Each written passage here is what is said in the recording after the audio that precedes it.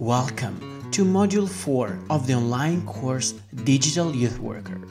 The topic of this session will be online crowdfunding and fundraising. Fundraising is crucial when you want to implement your projects for anything. If you think it over, any action requires you to plan how you spend the money and what for especially if you are young and you don't have enough money to realize all your big plans. Thanks to this module, you will get the basics to carefully plan, organize, and implement your own online crowdfunding and fundraising projects. We hope you have enjoyed this brief introduction to the module and that you are excited to get started with it.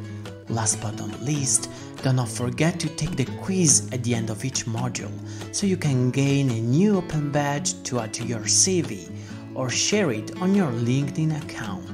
Now you're ready to start. Have fun learning and good luck with the final quiz.